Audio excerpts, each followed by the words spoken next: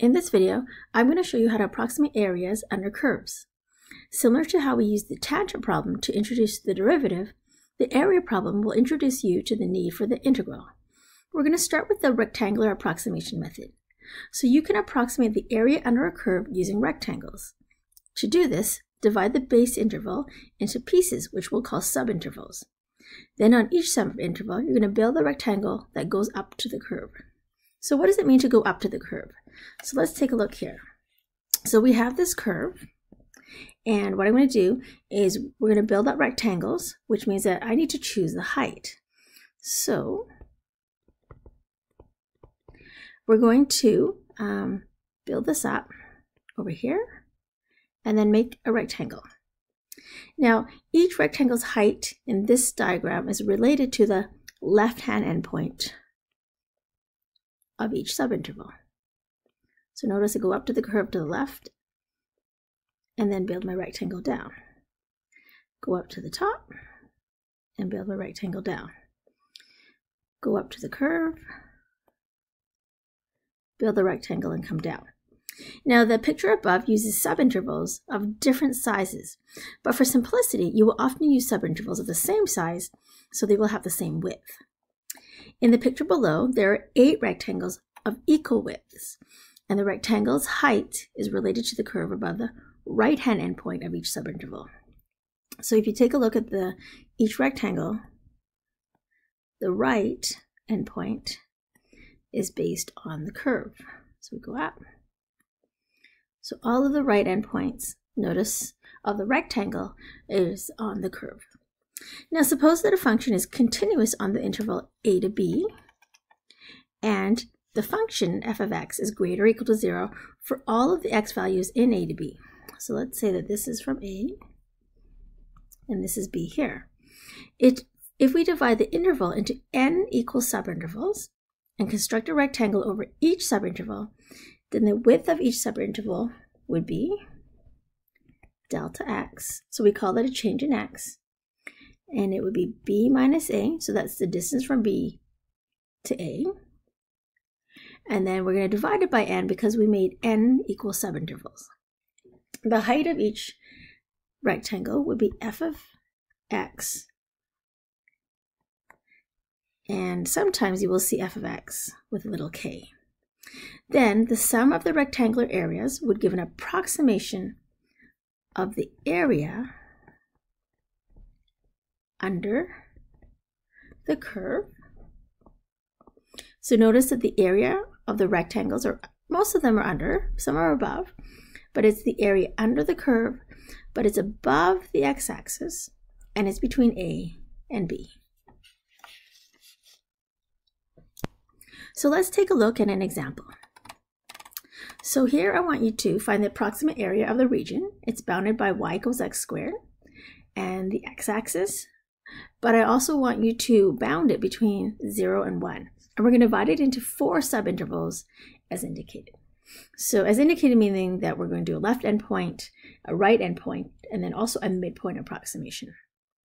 So recall that the area of a rectangle is equal to base times height.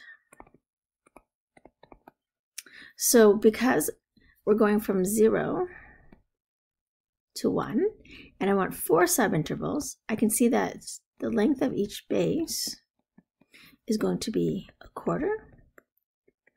And then the height of each rectangle is going to be based on y equals x squared, so it's going to be x squared. Now, I'm going to actually use x i all squared.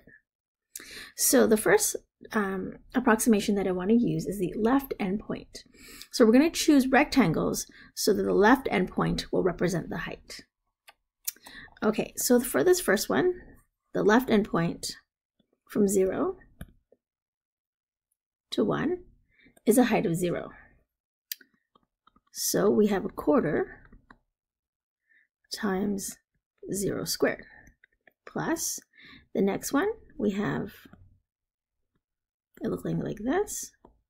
So we have a quarter as our width times, and right to here, this value here is going to be one quarter. So this will be one quarter. and the it will be squared because that gives us the height to the curve. The next one will be from here.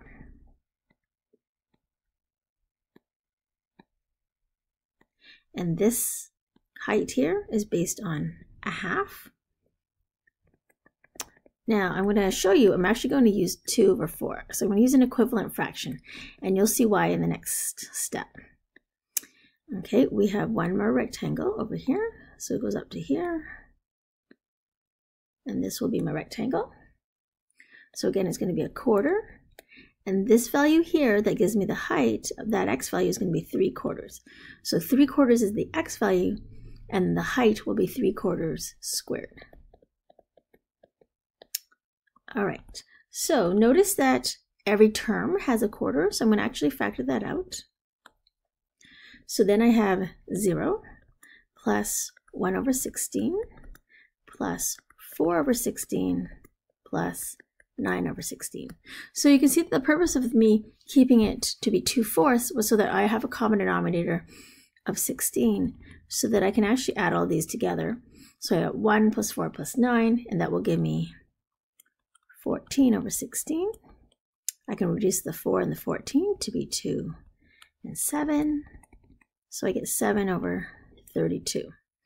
Now you can see that because the curve goes up, and all my rectangles are below the curve, this value here is an underestimate.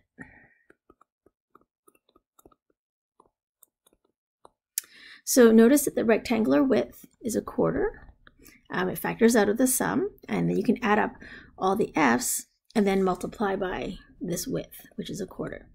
This will always be possible if you use subintervals of equal length. So if, that's why it's kind of convenient to use subintervals of equal um, width. All right, let's take a look at what happens when we choose a right endpoint approximation. So this time, if this is our rectangle, we're going to base it on the right side. So there is the height of our first rectangle. So using this fact that we did with, um, we found with a left endpoint approximation, I'm going to have the quarter factored out already. So I know that the right endpoint, here we start at a quarter. So we get a quarter for our x value. To find the height, it's going to be quarter squared. Plus, the next one, we build it up from the right side. And that's going to be 2 quarters squared. Plus, so this rectangle here is next. All the way to here, and that's going to be 3 quarters all squared. And then finally, this one goes all the way up to the top, like this, on this right end point. And that will be 1 squared or 4 fourths squared. All right, so squaring all of this, I get 1 over 16, 4 over 16, plus 9 over 16, and then plus 16 over 16. So conveniently, they're all 16s. So I get 1 fourth times 30 over 16. And the 4s will cross off with the 30, so we get 2 and 15. So now I have 15 over 32. Now this time, you notice that, again, the curve goes up. So because the curve is moving up and we're choosing right endpoints, this is going to be an overestimate. All right, lastly, let's do a midpoint approximation. So this time the height is going to be chosen at the midpoint of the rectangle. So the midpoint would be right here. So this one's a very skinny rectangle on the bottom. And knowing that this is 1, this first value, since these are divided up into quarters, this x value is 1 eighth. So we're going to say that the area is a fourth, and I'm going to use the same uh, method that I did for the left end, sorry, for the right end point. And I'm going to take a 1 8th as my x value. And to find the height of that rectangle, we need to square it because that is our function. So the next one will be here. So we build that. This will be where our point is. So this one is going to be 3 eighths and then we're going to square it to find our height. Okay, next one here is going to be 5 eighths squared. And then the last one, which is right here, is going to be 7 eighths. So plus 7 eighths all squared. So we get 1 fourth times 1 over 64 plus 9 over 64 plus 25 over 64 and then 49 over 64. Okay, simplify my fraction and I get 84 over 64. Reduce the 4 with the 84 to give me 21. So here I get 21 out of 64.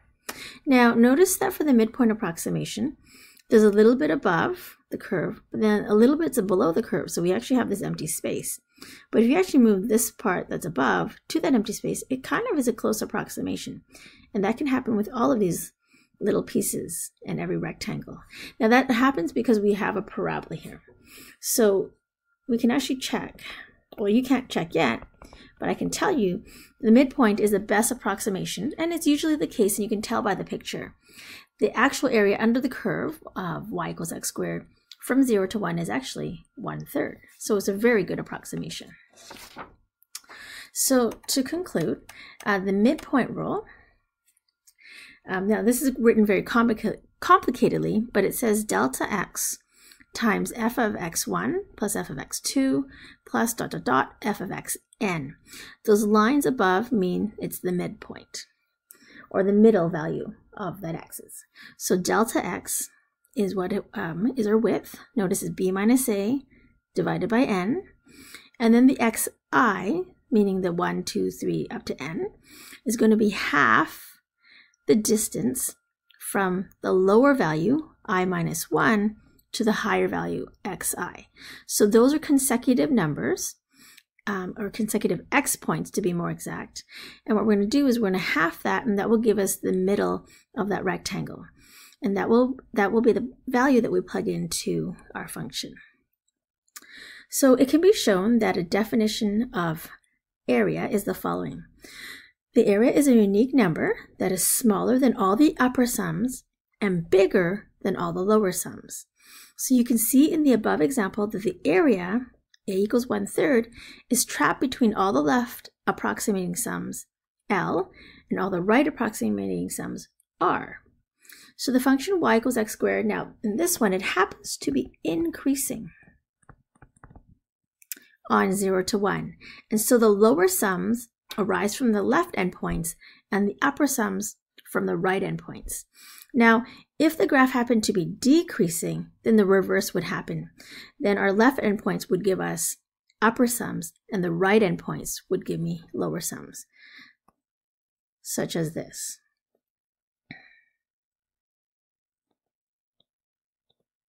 So notice for the right endpoints, we now would get lower sums. But if we're doing left endpoints, we would now be above the curve. So those would give me upper sums.